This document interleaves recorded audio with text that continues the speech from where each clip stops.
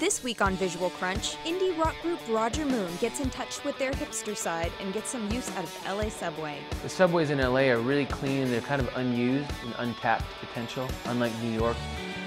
And turntablist Mike Relm messes with time in more ways than one. Yeah, we had a lot of ideas, and a lot of them kind of fell to the wayside because of time restraints. Find out how these indie filmmakers won the race against time on the next episode of Visual Crunch, Thursday, 8 p.m. Pacific, only on MYX.